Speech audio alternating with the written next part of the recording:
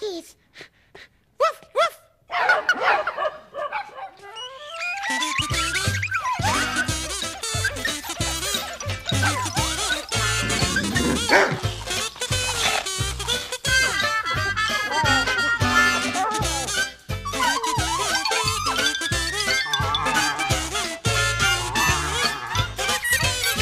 Or the dogs with bees in their mouth.